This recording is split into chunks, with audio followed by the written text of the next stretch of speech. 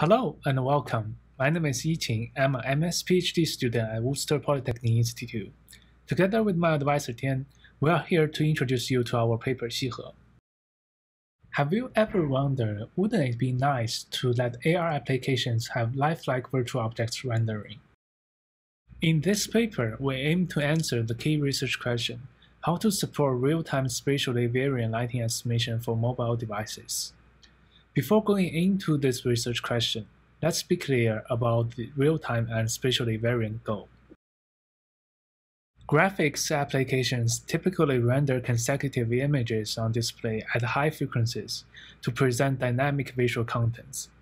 On mobile devices, most graphic applications target 30 frames per second as the refresh rate, which means all necessary computation needed for render one frame, including lighting estimation, should be finished in approximately less than 33 milliseconds.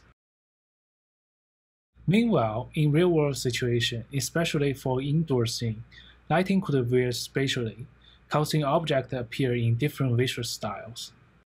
Current commercial framework, for example ARKit on iOS platform, can support real-time lighting estimation through ambient light sensors, but it does not estimate the spatially variant lighting.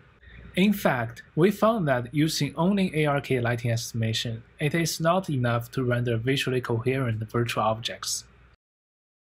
Achieving spatially variant lighting estimation is difficult mainly because of the following challenges. First, it needs to estimate scene lighting from a limited view of the scene.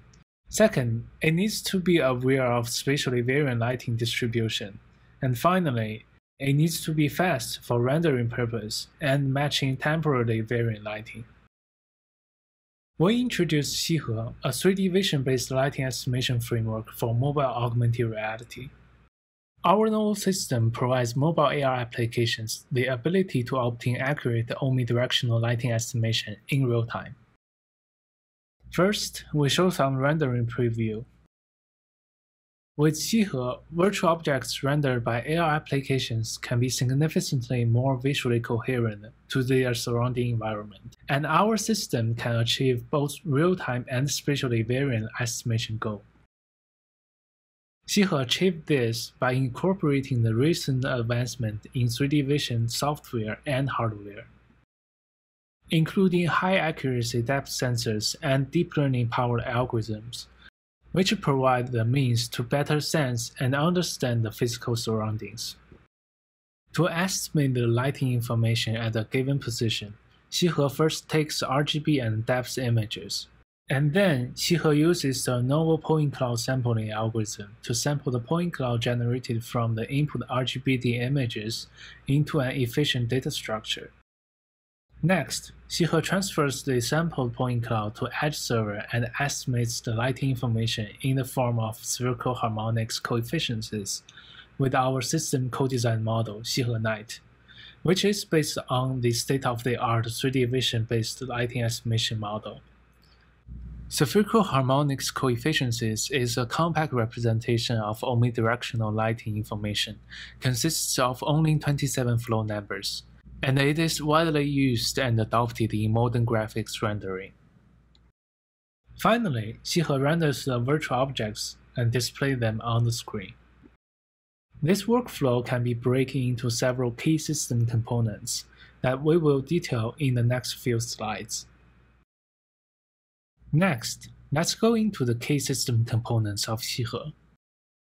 Instead of randomly sample points in the point cloud, we leverage the sphere geometric information to select points based on the varying directions to maximize the observation coverage completeness.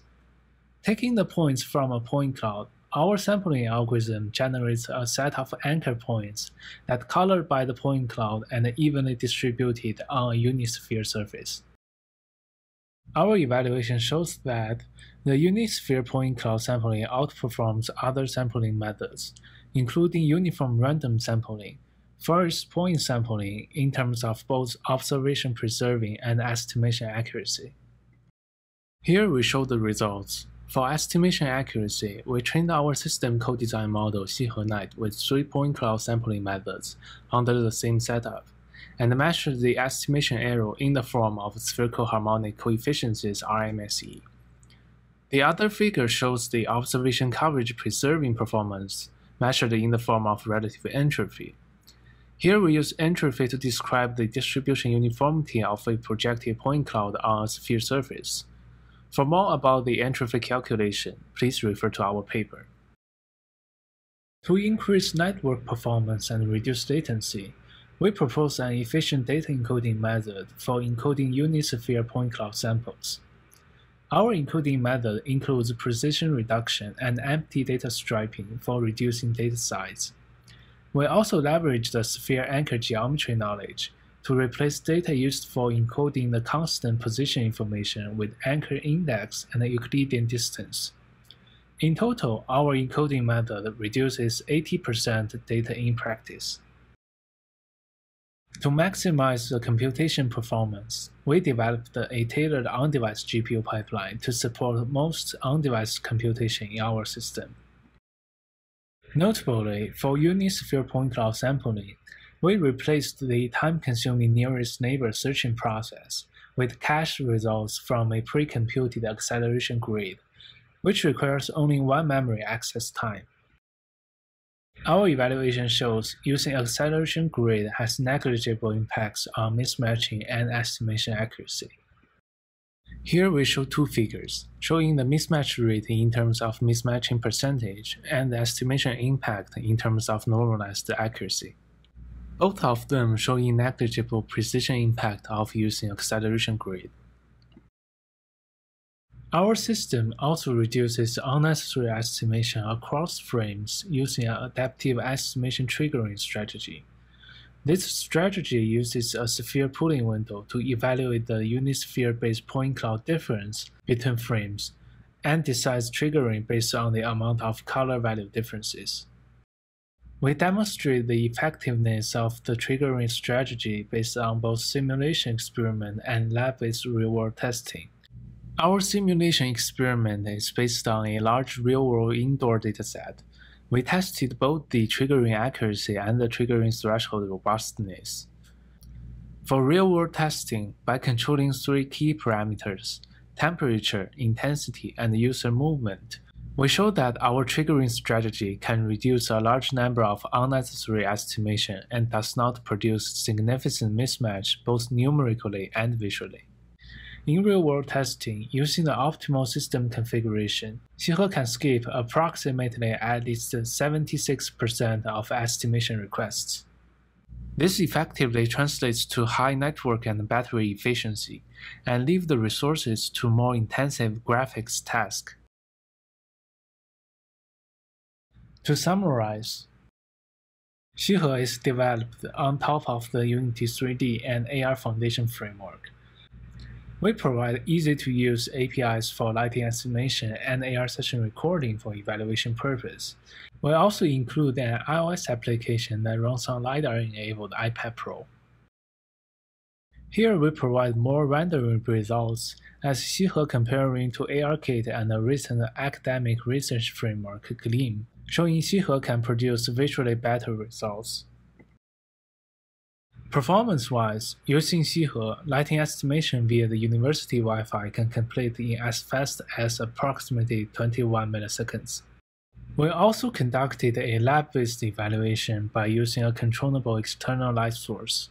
We tested the triggering strategy effectiveness and also produced multiple rendering results with different object material settings. Note that Xihe lighting estimation is bounded by the supported lighting estimator, Currently, our estimator only supports low-frequency lighting estimation, and virtual objects that require high-frequency lighting estimation will have less photorealistic effects.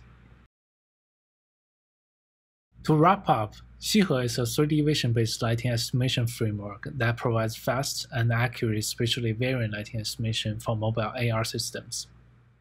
Second, our results show that Xihe can support 30 frames per second real-time rendering goal Third, our controlled experiments demonstrated that Xihe can provide visually better rendering than ARKit and Gleam under various experiment settings.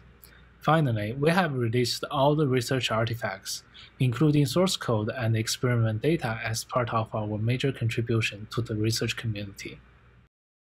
Thank you all for listening. See you at Mobisys 2021. And don't forget to check our open source GitHub repos for research artifacts, including all the system source code.